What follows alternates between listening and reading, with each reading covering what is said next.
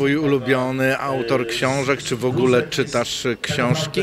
Ja czytam bardzo dużo, ale ulubionego tutaj nie można wybrać, bo ja bardzo dużo mam autorek, które lubię. A skąd e, pasja do czytania książek? Bo teraz dzieci i młodzież częściej zaglądają do komputera czy telefonu.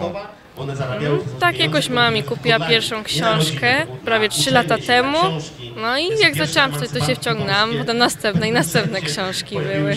Jaka to była ta pierwsza książka? To ją szczególnie zapamiętałaś? Tak, to była Rodzina Monet od Weroniki Janny Marczak właśnie, pierwsza część. Jak jest w szkole z czytaniem książek i czytaniem e, lektur? Macie jeszcze takie książki, które pani mówi koniecznie trzeba przeczytać? No tak, są lektury i niektóre lektury są ciekawe i ciągnęłam się w niektóre, a niektóre no, tak trudno było przebnąć przez nie. No to powiedz, w które cię wciągnęły, a które trudne były do przebrnięcia?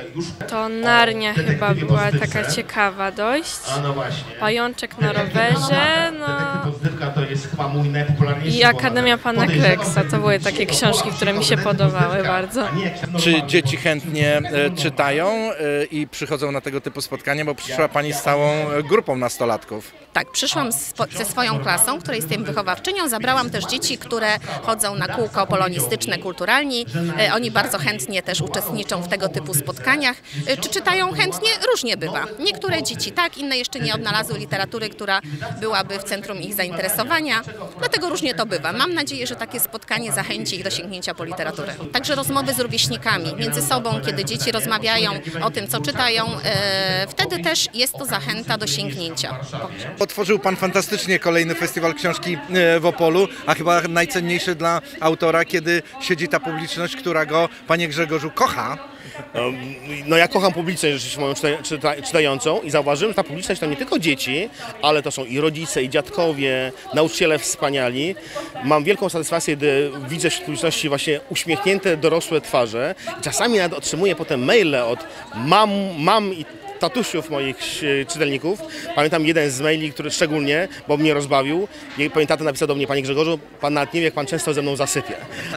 Uznaję, że jest to jednak też taki fajny, fajny wyraz sympatii, ale też mam dzięki temu świadomość, że jestem częścią życia wielu czytelników i to jest cu- cudowne. Cudownie dzisiaj było rozpocząć też festiwal w Opolu. Nigdy jeszcze nie byłem na festiwalu, byłem wielokrotnie w Opolu e, na spotkaniach autorskich, a nigdy nie byłem na tym festiwalu, o którym mówiono mi same dobre rzeczy. I jak rzeczywiście same dobre, bo powiedział pan sam na scenie, że marzył pan o występie na scenie, co prawda nie śpiewał pan, ale dużo pan opowiadał. Tak, tak. I byłem trochę spieszony. Dobrze nie wiedziałem, że będę rozpoczynał, bo pewnie byłbym spięty. No, no cóż mogę powiedzieć e, czytelnikom z Opola i z okolic. Przyjeżdżają tu wszyscy najlepsi, plus ja, Grzegorz Kazak. Autorki książki w duecie, trudno nie zapytać, czy w życiu też wszystko pani robi w duetach? No nie wszystko, ale po części tak. Pisze pani, rozumiem, sama, czy jest e, obok musi siedzieć jakaś inspiracja, żeby był duet? Znaczy nie, inspirują mnie y, książki, które czytam, y, gdzieś tam otaczający mnie świat i obserwowanie ludzi też pomaga mi tworzyć historię, ale no, w duecie nie tworzę, tworzę sama. Sol, jeśli chodzi o gatunek, który wybrałam, to wynikało to z moich literackich zainteresowań, a taka Wena powiedzmy obudziła się we mnie no, jak mniej więcej 4 lata temu i wtedy siadłam do napisania książki. To nie było jakieś moje marzenie od zawsze, ani jakoś też nie wykazywałam jakichś specjalnych talentów y, pisarskich, no ale jakoś tak złapałam bakcyla i, no, i wyszło, czytelnikom się spodobało, powstał drugi tom, więc pomału do przodu. Bardzo się cieszę, że ludzie cały czas książki czytają, bo to jest zawsze źródło największej mądrości, jaką można mieć i przeżyć, najwspanialszych, jakie można przeżyć. Żaden film, żaden teatr tego nie zrekompensuje, co daje książka.